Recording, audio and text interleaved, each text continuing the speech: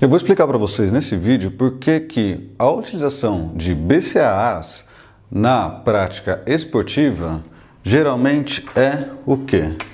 Jogar teu dinheiro fora. Então vamos lá. Lembrando que é para a prática esportiva que estou falando aqui.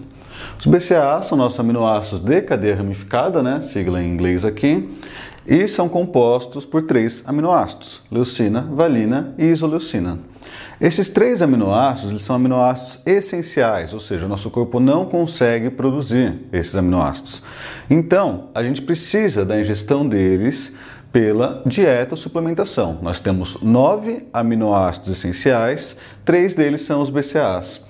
E qual é a grande importância deles? É que eles representam 45% do conteúdo total dos aminoácidos essenciais quando a gente vai avaliar o nosso organismo e a primeira etapa ali do metabolismo deles ocorre principalmente no tecido muscular. Então pensaram, bom, eles são essenciais, têm grande importância e a metabolização deles vai ocorrer no músculo.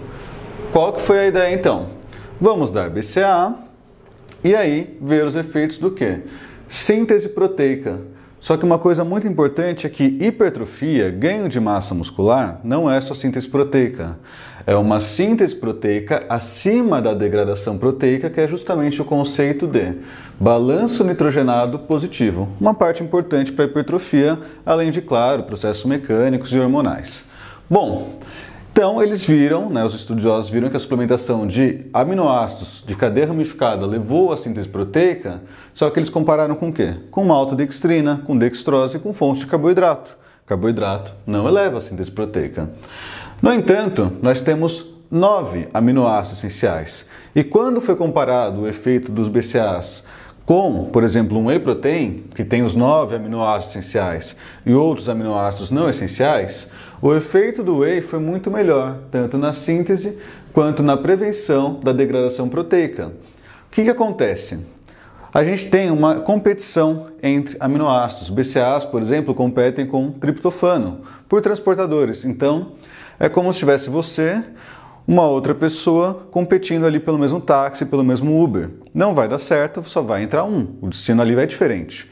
E quando a gente dá o excesso de alguns aminoácidos acaba tendo competição e atrapalha a captação de outros aminoácidos também, o que teoricamente também é um problema no uso de BCAAs, ok?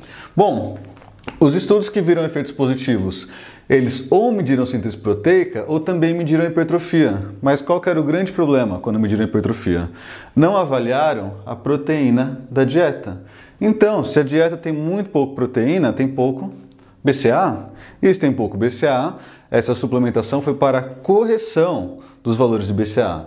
Mas quando a gente pega estudos com doses adequadas de proteína, 1,6 a 2,2 grama quilo, aí a suplementação de BCA não mostra alguma efetividade, né? na verdade não mostra nenhuma, principalmente quando comparada, por exemplo, com proteínas com os nove aminoácidos essenciais. Lembrando que o excesso de aminoácidos, né, BCAAs, qualquer aminoácido em si, vai levar à formação de energia, muitas vezes pela formação de ciclos de Krebs, né, ou de acetil-CoA, e aí também vai ser uma fonte energética, não uma fonte para síntese proteica. Consequentemente, você deu bastante BCA, conseguiu energia? Sim, mas de uma maneira mais cara e desnecessária.